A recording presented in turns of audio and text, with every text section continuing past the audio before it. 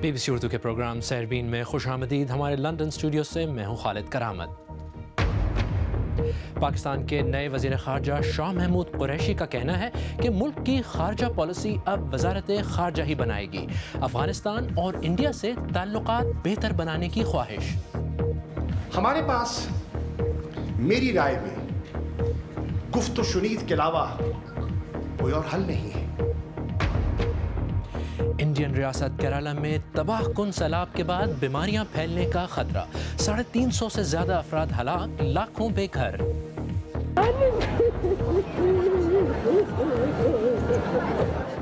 اور کوریائی جنگ کی وجہ سے بچھڑنے والے کئی خاندانوں کی اپنے رشتہ داروں سے چھ دہائیوں کے بعد چند لمحوں کی ملاقات۔ آج پاکستان کی سولہ رکنی وفاقی کابینہ نے حلف اٹھایا۔ اگرچہ گزشتہ روز نو منتخب وزیر اعظم عمران خان کا قوم سے اپنے پہلے خطاب میں زیادہ زور داخلی امور پر رہا، تاہم ان کے وزیر خارجہ شاہ محمود قریشی نے آج حلف اٹھانے کے بعد کہا کہ پاکستان کی خارجہ پالیسی دفتر خارجہ ہی میں بنے گی۔ وزیر خارجہ کے بیان سے اس تاثر کو تقویت ملتی ہے کہ ماضی میں ملک کی خارجہ پالیسی میں وزارت خارجہ کے علاوہ دوسری قوتوں کا عمل دخل بھی رہا ہے۔ تفصیل عمر افریدی سے میں وفاقی کابینہ نئی صحیح مگر اسے درپیش داخلی اور خارجی چیلنجز پرانے ہیں۔ وزیر اعظم عمران خان کی گزشتہ روز کی تقریر سے توقعات پہلے ہی بڑھ چکی تھیں۔ آج وزیر خارجہ شاہ محمود قریشی نے یہ کہہ کر ان توقعات کو عالمی سطح پر بھی مہمیز دے دی کہ اب پاکستان کی خارجہ پالیسی دفتر خارجہ ہی میں بنے گی۔ یوں اس عمومی تاثر کو بھی تقویت ملی کہ پاکستان کی خارجہ پالیسی میں مقتدر حلقوں کا عمل دخل رہا ہے۔ ماضی میں پاکستان کی افغان پالیسی تنقید کا نشانہ رہی ہے۔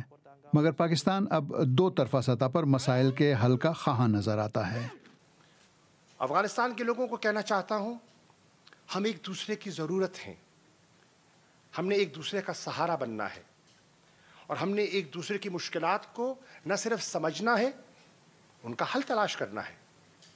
اور ہم میں صلاحیت ہے کہ ہم بائی لیٹرلی مل بیٹھ کر اپنے مسائل کا حل تلاش کریں۔ دوسری جانب، انڈیا کے ساتھ کشیدہ تعلقات کو معمول پر لانے کی کوششیں اب تک ناکام رہی ہیں۔ تاہم، انڈین وزیر اعظم نریندر مودی نے عمران خان کو لکھے گئے خط میں تعمیری اور بامانی بات چیت کی خواہش کا اظہار کیا ہے۔ جواب میں، پاکستانی وزیر خارجہ نے بھی دونوں ملکوں کے ایٹمی طاقت ہونے کا حوالہ دیتے ہوئے بات چیت کی ضرورت پر زور دیا۔ ہمارے پاس میری رائے میں گفت و شنید کے علاوہ کوئی اور حل نہیں ہے۔ خارجہ اور دفاعی معاملات میں سیاستدانوں کے پر جلتے رہے ہیں۔ اس لیے وزیر اعظم عمران خان اور ان کے وزیر خارجہ کو ہر قدم پھونک پھونک کر رکھنا پڑے گا۔ Umar Afridi, B B C news. اور اسی موضوع پر بات کرنے کے لیے اس وقت بی بی سی کے اسلام آباد اسٹوڈیو سے براہ راست موجود ہیں ہمارے ساتھی ہارون رشید۔ ہارون، سب سے پہلے تو یہ بتائیے کہ نئی حکومت کے وزراء نے اپنے عہدوں کا حلف اٹھا لیا ہے اور بظاہر نئے وزیر خارجہ کا کہنا ہے کہ اب خارجہ پالیسی وزارت خارجہ میں ہی بنے گی۔ اس سے ان کی کیا مراد ہے؟ خالد، اگر آپ پچھلے تین چار دہائیوں پر نظر دوڑائیں تو جو اس خطے میں سیکیورٹی حالات رہے اس کی وجہ سے جو پاکستان کے سیکیورٹی ادارے تھے وہ ڈرائیونگ سیٹ میں رہے اور وہ ڈیسائیڈ کرتے رہے کہ کس طرح سے آگے چلنا ہے۔ تو اس وجہ سے یہ تاثر پاکستان میں بڑھا کہ جو خارجہ پالیسی ہے، وہ اسلام آباد میں نہیں راول پنڈی میں بن رہی ہے۔ آج وزیر خارجہ نے اس اخباری کانفرنس میں ڈیسک بجا کر اس عزم کا اظہار کیا۔ کہ اب یہ خارجہ پالیسی جو ہے وہ وزارت خارجہ میں بنے گی۔ لیکن انہوں نے یہ واضح ضرور کیا کہ جو دوسرے ریاستی ادارے ہیں، ان سے اس میں ان پٹ بھی ضرور لی جائے گی۔ اچھا ہارون نئے وزیر خارجہ کے لیے خارجہ پالیسی کا تعین کرنا کتنا آسان ہوگا؟ دیکھیں، یہ اس کا انحصار اس خطے اور خاص کر پاکستان کی جو اندرونی سیکیورٹی حالات ہیں، اس پر رہے گا۔ اگر تو حالات میں بہتری آتی ہے تو میرا نہیں خیال کہ پھر سیکیورٹی اداروں کی ان پٹ کی اتنی ضرورت پڑتی ہے جتنی ماضی میں رہی ہے۔ لیکن انڈیا کو اگر آپ لیں، تو انڈیا کے متعلق جو پاکستان کے سیکیورٹی اداروں کی پالیسی رہی ہے، وہ کافی سخت موقف رہا ہے۔ تو مجھے نہیں لگتا کہ حالات میں بہتری کے باوجود شاید انڈیا کے متعلق پالیسی تبدیل کرنا کوئی زیادہ آسان ہوگا سیاسی قیادت کے لیے۔ اچھا شاہ محمود، قریشی کہتے ہیں کہ وہ افغانستان کا پہلے دورہ کرنا چاہتے ہیں، جبکہ وہ انڈیا کے بارے میں کہتے ہیں کہ وہ بھی امن کے خواہ ہیں۔ تو یہ بتائیے کہ کتنا آسان ہوگا مذاکرات ان دونوں ممالک کے ساتھ کرنا؟ دیکھیں کابل کے ساتھ تو اس سال فروری میں جب جنرل قمر جاوید باجوہ وہاں گئے تھے، اس کے بعد سے حالات کچھ اچھے دکھائی دے رہے ہیں، تعلقات میں کچھ بہتری ہے، سخت جو جملے ہیں یا بیانات ہیں، ان کا اب تبادلہ نہیں ہو رہا، اور ایک پروسیس بھی شروع ہوا ہے، پانچ پہلوؤں پر پانچ کمیٹیاں بنی ہیں دونوں ممالک کے درمیان تعلقات تعاون بڑھانے کے لیے تو اس پر تو کام چل رہا ہے۔ انڈیا میں اب مسئلہ یہ ہے کہ وہاں پر پہلے پاکستان الیکشن موڈ میں تھا، اب انڈیا میں مودی سرکار جو ہے وہ الیکشن موڈ میں جا رہی ہے۔ تو میرا نہیں خیال، یہاں لوگوں کا یہی خیال ہے کہ شاید اب انڈیا میں موقف جو رہا اسٹرانگ مودی صاحب کا، وہ تبدیل ہونا مشکل دکھائی دے رہا ہے۔ تو لگتا یہ ہے کہ اگلی انڈین حکومت کے لیے عمران خان کی حکومت کو شاید انتظار کرنا پڑے۔ اسلام آباد سے ہارون رشید ہم سے بات کرنے کا بہت بہت شکریہ۔ پاکستان میں عمران خان کی قیادت میں نئی حکومت کے قیام کو انڈیا میں کیسے دیکھا جا رہا ہے؟ اس پر بات کرنے کے لیے نامہ نگار شکیل اختر دلی اسٹوڈیو سے ہمارے ساتھ موجود ہیں۔ شکیل، پہلے تو یہ بتائیے کہ پاکستان میں نئی حکومت کا قیام ہو گیا ہے، اسے انڈیا میں کیسے دیکھا جا رہا ہے؟ خاص طور پر امن کے حوالے سے۔ دیکھیں جی ایک تو یہ ہے کہ عمران خان پہلی بار وزیر اعظم بنے ہیں۔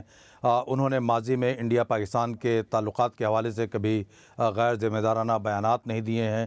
ان کی شبی یہاں پر بہت اچھی ہے۔ تو ان کے بارے میں انڈیا میں حکومتی سطح پر کوئی تشویش نہیں پائی جاتی۔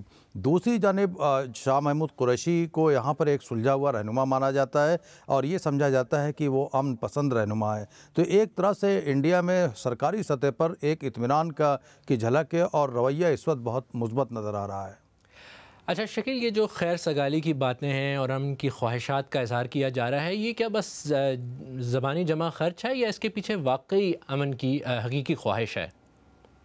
دیکھیں جی پچھلے چار سال سے دونوں ملکوں کے تعلقات خالد کافی خراب رہے ہیں اور اس میں اگر بات چیت بالکل بند رہی ہے اور زیادہ مشکلات انڈیا کی طرف سے آئی ہیں، تو ظاہر ہے کہ اب اس وقت نئی حکومت آئی ہے، انڈیا یہ تاثر دینا چاہے گا کہ وہ بات چیت کا راستہ بند نہیں رکھنا چاہتے، وہ بات چیت کرنا چاہتے ہیں، تو وہ ابتدائی طور پر یہ امید کی جا سکتی ہے کہ آنے والے کچھ دنوں میں کچھ چھوٹی موٹی بات چیت بھی شروع ہوگی کچھ اقدامات جی۔ بھی کیے جائیں گے اور شاید اس میں سلسلہ تھوڑا سا جی۔ بڑھے اچھا میں آپ سے یہ پوچھنا چاہوں گا کہ دونوں ممالک میں معاشرے کے کچھ ایسے حصے بھی ہیں جو پاکستان اور انڈیا کے درمیان امن نہیں چاہتے اب انتخابات بھی آنے والے ہیں تو ان حالات میں مذاکرات شروع کرنا کتنا آسان ہوگا دیکھیے ابھی تو انتخابات جیسا کہ آپ نے کہا آنے والے ہیں تو ظاہر ہے کہ حکومت کوئی بہت سیریس قدم تو نہیں اٹھائے گی۔ دوسری طرف میڈیائی ہسٹیریا یہاں پر کافی عرصے سے چل رہا ہے اور وہ سلسلہ ابھی بھی ہے، لیکن یقینی طور پر کچھ نہ کچھ قدم ضرور اس مرحلے پر اٹھائیں گے۔ دلی سے شکیل اختر ہم سے بات کرنے کا بہت بہت شکریہ۔ انڈیا کی جنوبی ساحلی ریاست کیرالہ میں اس مونسون کے دوران موسلادھار بارشوں اور تباہ کن سیلاب کی وجہ سے مرنے والوں کی تعداد مجموعی طور پر تین سو پچاس سے تجاوز کر گئی ہے۔ کیرالہ میں آٹھ اگست کے بعد سے شدید بارشوں کا سلسلہ جاری تھا، جس کا زور اب تھمنا شروع ہوا ہے۔ پانی اتر رہا ہے، لیکن ریاست کا ایک بڑا حصہ اب بھی زیر آب ہے۔ ماہرین کے مطابق اب بیماریاں پھیلنے کا خطرہ بڑھ رہا ہے۔ دلی سے سہیل حلیم۔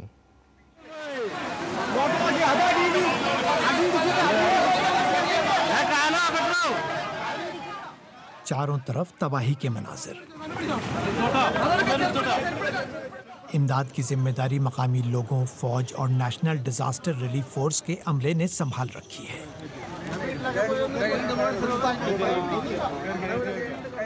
سات لاکھ سے زیادہ لوگوں کو ریلیف کیمپوں میں منتقل کیا گیا ہے۔ لیکن لاکھوں لوگ اپنے گھروں اور محلوں میں ہی پھنسے ہوئے ہیں۔ اور ان تک امداد پہنچانا ایک بڑا چیلنج ہے۔ دو دن پہلے بارش ہوا تھا بارش کے کارن پہاڑ سے مٹی گھس کے پانچ گھر سب اجڑ گیا تھا۔ اور ادھر سے دیکھ رہا ہے یہ سب اٹھارہ لوگ کی موت ہو چکی ہے۔ ابھی ایک کلاس دو کلاس ملنے والا ہے۔ ابھی تک ہاں ابھی تک نہیں ملا ہے۔ تین دن سے کوشش جاری ہے۔ کیرلا انڈیا کی جنوبی ساحلی ریاست ہے جو تقریباً دو ہفتوں تک لگاتار موسلا دھار بارشوں کی زد میں رہی ہے۔ اب بارشوں کا زور تھم گیا ہے۔ اور پانی اتر رہا ہے۔ لیکن بیماریوں کے پھیلنے کا خطرہ بھی ہے۔ کیونکہ پینے کے صاف پانی کی شدید قلت ہے، جو دوسری ریاستوں سے بھیجا جا رہا ہے۔ جو بہت گمبھیر باڑھ کی استھتی وہاں پہ بنی ہوئی ہے کیرلا میں، اس کے لیے ہم نے پیکٹ، ایک لاکھ پیکٹ بھیجنا ہے اور ایک لاکھ پیکٹ کی ہم لوگ تیاری کر رہے ہیں۔ اور ان پیکٹ میں ہم پانی ہے، دودھ ہے، چائے ہے، بتی ہے، بسکٹ ہے اور رس ہے۔ ریاست میں سڑکوں اور دوسرے بنیادی ڈھانچے کو بے پناہ نقصان پہنچا ہے۔ ریاستی حکومت کے مطابق اسے حالات سے نمٹنے کے لیے بائیس ہزار کروڑ روپے کی ضرورت ہوگی۔ اس رقم میں اضافہ ہو سکتا ہے۔ کیونکہ پانی پوری طرح اترے گا، تو اس خوبصورت ساحلی ریاست میں تباہی کی تصویر صاف ہونا شروع ہوگی۔ Sohail Haleem, B B C news, Delhi. B C Urdu کے پروگرام سیربین میں آگے چل کر دیکھیے گا۔ کورین جنگ کے ساٹھ سال بعد بچھڑے خاندانوں کی انتہائی جذباتی ملاقات۔ اور کیا مریضوں کی روحانی اور مذہبی ضروریات کا خیال کوئی ایسا شخص رکھ سکتا ہے جو مذہب پر یقین ہی نہ رکھتا ہو؟ بی بی سی اردو کے پروگرام سیربین میں ایک بار پھر خوش آمدید، میں ہوں خالد کرامت۔ ساٹھ سال سے زیادہ کی جدائی کے بعد جنوبی کوریا سے نواسی افراد کا ایک قافلہ اپنے اپنے خاندانوں سے ملنے کے لیے شمالی کوریا پہنچا ہے۔ ان میں اکثریت عمر رسیدہ لوگوں کی ہے، جن میں معمر ترین ایک سو ایک سال کے ہیں۔ یہ لوگ کورین جنگ کے دوران اپنے خاندانوں سے بچھڑے تھے اور اب اس ملاقات کے لیے لاٹری کے ذریعے چنے گئے ہیں۔ لورا بکر کی رپورٹ پیش کر رہی ہیں نصرت جہاں۔ کم ہیون سک کو وہ لمحہ بھول نہیں سکتا جب انہوں نے اپنی بیٹی کو پورے ساٹھ برس بعد دیکھا۔ لیکن ماں بیٹی کی یہ ملاقات بہت مختصر تھی اور خوشی اور غم کے جذبات سے لبریز۔ تھوڑی ہی دیر میں انہیں ایک دوسرے سے الگ کر دیا گیا۔ جب جانے کا وقت ہو گیا تو میں نے بیٹی کا ہاتھ چھوڑ دیا اور آ کر بس میں بیٹھ گئی۔ میری زبان گنگ ہو گئی۔ ایک لفظ بھی نہ بول پائے۔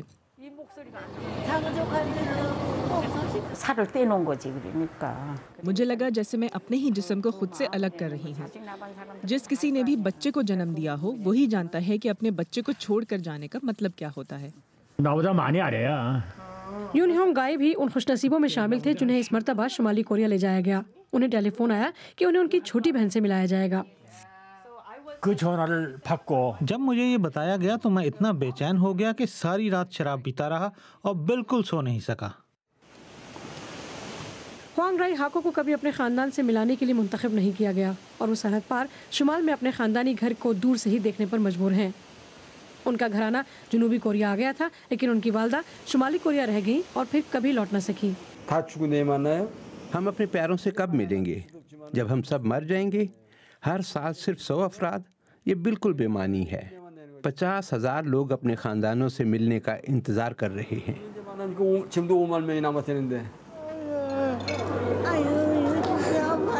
اس واقعی ہفتہ پر ملنے والی خوشی کے چند لامات شمالی اور جنوبی کوریا دونوں کو ایک مرتبہ پھر یاد دلائیں گے کہ جدائی کا درد ختم نہیں ہوا ہے اور شاید یہ درد جزیرہ نما کوریا کو کبھی نہیں چھوڑے گا۔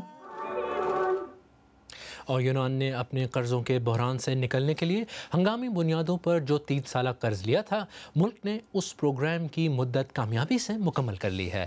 عالمی معیشت کی تاریخ میں یہ سب سے بڑا پیکج تھا، جس کے تحت یونان کو کل دو سو نواسی ارب یورو کا قرض دیا گیا تھا، جسے واپس کرنے میں اسے ابھی کئی اشرے لگیں گے۔ شمالی افغانستان میں طالبان نے تین بسوں پر حملہ کر کے تقریباً ایک سو پچاس افراد کو یرغمال بنا لیا ہے۔ طالبان کے ترجمان کا کہنا تھا کہ اس کارروائی کا مقصد سیکیورٹی فورسز کے اہلکاروں کو پکڑنا ہے، جو عام مسافروں کے ساتھ سفر کرتے ہیں، جبکہ باقی لوگوں کو رہا کر دیا جائے گا۔ پہلی مرتبہ برطانیہ کی نیشنل ہیلتھ سروس نے چیپلنس یا مذہبی پروگرامز کے انچارج افراد کی ٹیم کی سربراہی کے لیے ایک ہیومنسٹ یعنی انسانوں کی بہبود پر یقین رکھنے والے شخص کا انتخاب کیا ہے۔ ہیومنسٹ صرف انسانی قدر اور اس ایک زندگی یا جنم میں ہی خوشی پا لینے کی جستجو پر یقین رکھتے ہیں۔ نیشنل ہیلتھ سروس نے ایسا اس لیے کیا ہے تاکہ ایسے افراد کی مدد کی جا سکے جو کسی مذہب پر یقین نہیں رکھتے۔ تفصیل کے ساتھ جاوید سمرو۔ ہم کسی خدا پر یقین نہیں رکھتے لیکن اخلاقیات اور اقدار سے بھرپور ایک اچھی زندگی جینے پر یقین رکھتے ہیں۔ اسپتال میں چیپلن یا پادری مریضوں کی مدد کرتے اور انہیں سہارا دیتے ہیں اور یہ روایتی طور پر مذہبی پس منظر سے آتے ہیں۔ لیکن لنزی وین ڈائک کسی برطانوی پبلک ہسپتال کی پہلی ہیومنسٹ چیپلن بنی ہے روحانیت کی تعریف بہت وسیع ہے۔ ہیومنسٹ کے لیے اس کا مطلب ہو سکتا ہے موسیقی میں محو ہو جانا قدرت سے تعلق محسوس کرنا یا پھر شاعری میں کھو جانا۔ برطانیہ کی نیشنل ہیلتھ سروس کا کہنا ہے کہ مذہبی اور روحانی مدد مذہبی اور غیر مذہبی دونوں قسم کے افراد کو دستیاب ہونی چاہیے۔ برطانیہ کی عام آبادی کا ترپن فیصد حصہ مذہبی نہیں ہے۔ ظاہر ہے جب میری تقرری ہوئی تو لوگوں کو اس بات میں دلچسپی تھی کہ یہ ہیومنسٹ یا مذہب انسانیت کیا ہے کیونکہ یہ یہاں برطانیہ میں نیا رجحان ہے۔ لنڈسی کی ٹیم میں زیادہ افراد مسیحی چیپلن ہے مجھے لگا یہ دلچسپ ہے۔ مجھے اپنا کام کرنے کے لیے ایک اچھا مینیجر چاہیے۔ اور اس کے ہیومنس ہونے سے اس کام میں ایک اور دلچسپ عنصر شامل ہو گیا۔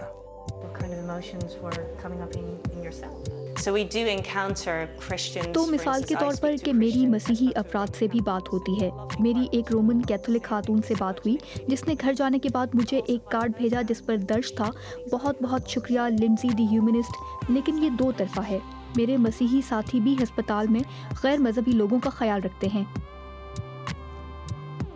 تو کیا ہیومنسٹ ہسپتالوں میں مذہبی چیپلنز کی جگہ لے لینا چاہتے ہیں؟ ہم ان چیزوں کا خاص خیال رکھتے ہیں۔